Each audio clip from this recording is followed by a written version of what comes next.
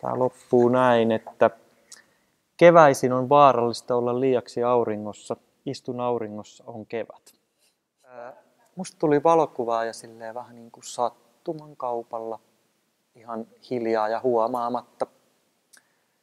Mä eikä kiinnostuin runoudesta ja kirjallisuudesta ja mun ystäväpiirissä oli paljon taiteilijoita.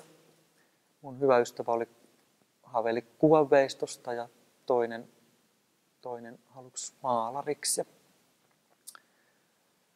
Siinä sitten heidän kanssaan tuli vietettyä aikaa ja kierrettyä näyttelyissä ja sitten huomasikin, että valokuvaaminen vie yhä enemmän ja enemmän omia ajatuksia ja aikaa. Mä suoritin silloin siellä Mäntyrinteen vanhainkodilla siviilipalvelusta ja huomasin, että tällainen kurssi on.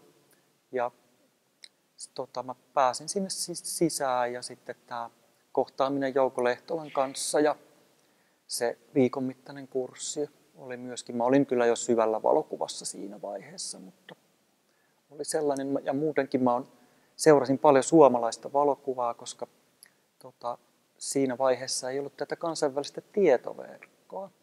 Et ei päässyt seuraamaan, mitä maailmalla tapahtuu, mutta olin siinä mielessä onnekas, että maailman kiinnostavin valokuva oli sillä hetkellä Suomessa ja tota, seurasin sitten tota, Jorma Purasta ja Ulla Jokisaloa ja Raakel Kuukkaa.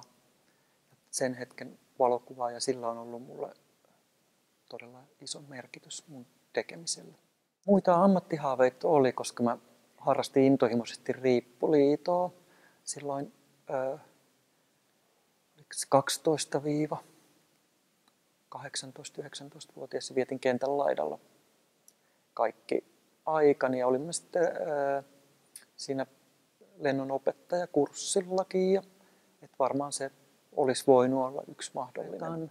Ja sitten mä tota, teen galleria- ja museonäyttelyitä, joka on se mun päätyö. Et siihen mä käytän kaikkein eniten aikaa.